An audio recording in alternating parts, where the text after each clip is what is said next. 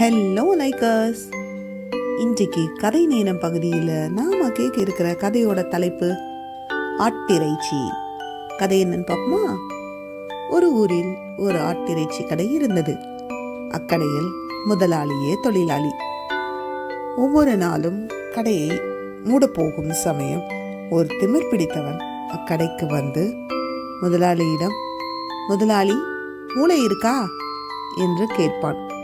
அதற்கு முதலாளியோ மூளை இல்லை என்றவுடன் என்ன முதலாளி இன்று உங்களிடம் மூளை இல்லையா என்று கிண்டலுடன் கேட்டுவிட்டு செல்வான். இதையே வழக்கமாக கொண்டிருந்தான்.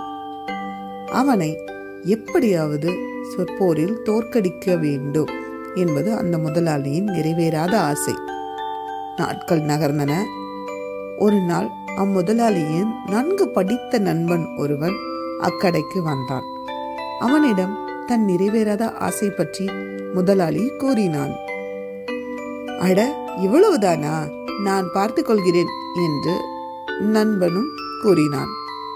கடையை மூட போகும் சமயம் அந்த திமிர் பிடித்தவன் வந்து முதலாளியிடம் முதலாளி மூளை இருக்கா? என்று வழக்கம் போல் கேட்டான். அதற்கு முதலாளியின் நண்பன் அவனை பார்த்து இதுவரை வந்த அனைவருக்கும் மூளை இருந்தது. ஆனால் துரதிருஷ்டவசமாக உங்களுக்கு தான் இல்லை என்றான். திமிர் பிடித்தவனின் வாயே.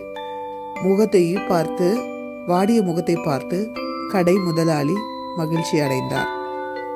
குழந்தைகளா வியூவர்ஸ் இந்த கதையிலேருந்து நீங்க தெரிஞ்சுக்கிட்ட நீதி என்ன அப்படிங்கிறத யோசிச்சு பாருங்க.